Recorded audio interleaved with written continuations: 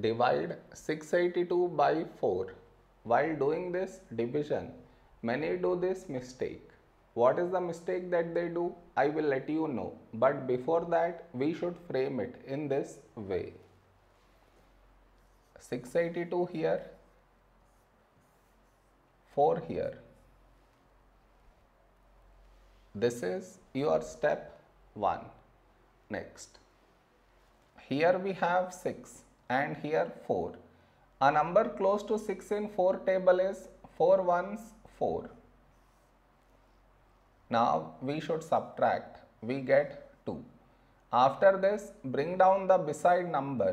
So 8 down. So 28. When do we get 28 in 4 table? 4 sevens 28.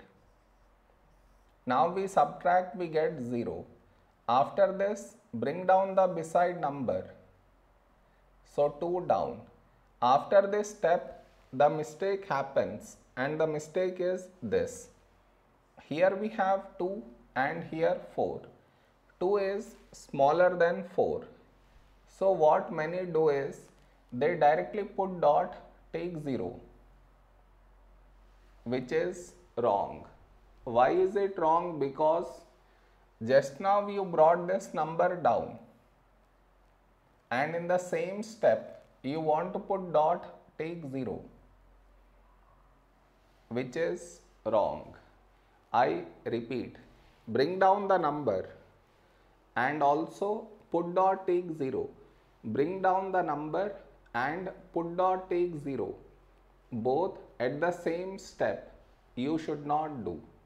Instead of that what we should think of doing is which number should we take here?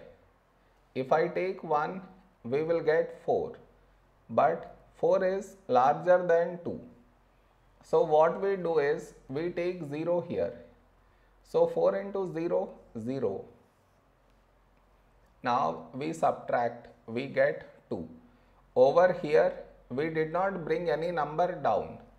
And 2 smaller than 4 so now we can put dot and take 0 so 20. When do we get 20 in 4 table? 4 5s 20. Now we subtract we get 0. Did you understand where does the mistake happens? You should not do that mistake.